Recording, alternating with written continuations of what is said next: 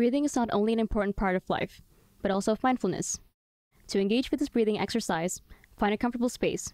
You can sit on a chair, or on the floor, or even lie down.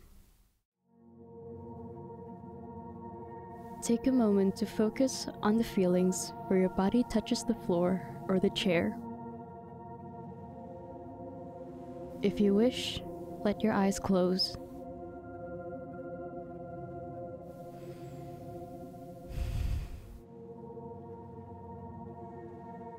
Bring your attention to your breath as it enters your body, feeling the rise and fall in your chest or your belly.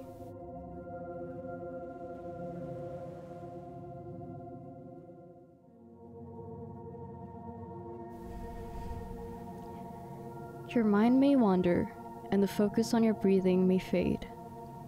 That is okay. Notice what it is that takes you away a thought, a feeling, a plan, and bring your focus back to your breath.